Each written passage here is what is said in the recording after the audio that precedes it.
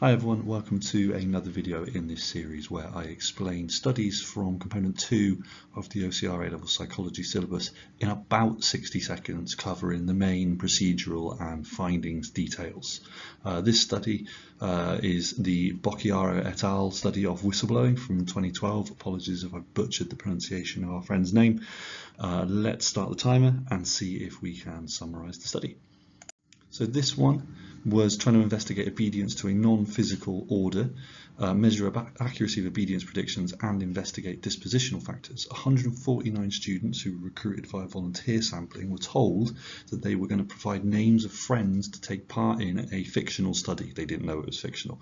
Uh, the study was about sensory deprivation, was really unethical, but what they were told to do was to write a positive letter to convince those friends to take part using a very specific wording. They were given computers to write the letters on.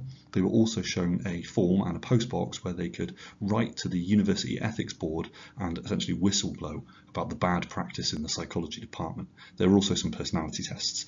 76.5% of students obeyed the order, 14.1% disobeyed, and 9.4% blew the whistle. Before the study, the average obedience rate was predicted to be 18.8%. It was found that whistleblowers had more faith in a transcendent reality, but no other individual differences affected obedience. Positives of this study was that it was ethical, standardized, and controlled. However, downsides, because only students took part, ecological validity to non-university environments is quite poor. I make that 1 minute and 10 seconds for a summary, so a little bit over for this one. If you've got any questions or comments about the study, please pop them in the comments below. Uh, it would be great if you could like this video and subscribe to the channel.